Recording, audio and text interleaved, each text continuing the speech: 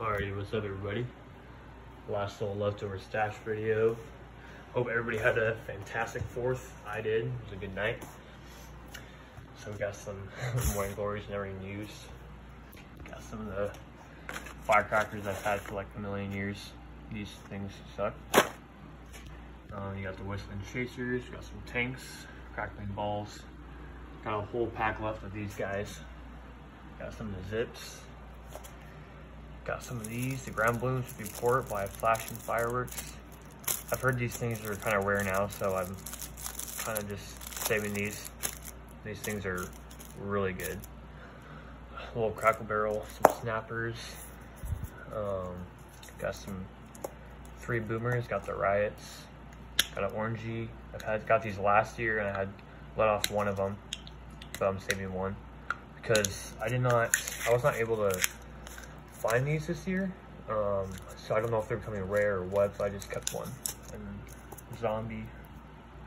Um, and then, okay, so these lighters are actually insane. So I watched a video that Pyrogasm um, posted like last year, and he was recommending these. Um, so I picked it up. It was six bucks um, from Menards, and it was really good. Like I used this uh, like third and the fourth. Like every time I lit anything, that's this is what I use. Like no punks ever. Like I always use this. I swear I only use like 15%, 15, 15% of the live fluid in there. So highly recommend this. It was like, yeah, six bucks from Menards. So I got two of those.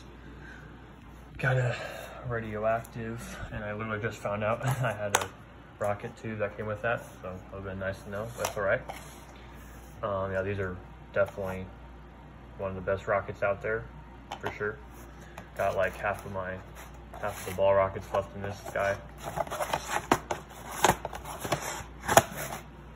Um, and then to the shells. Got three of these guys left. I was honestly kind of disappointed with these. So, I, I mean, they're still super loud. I, I mean, I don't know, I didn't have the ones from last year because these are the new ones.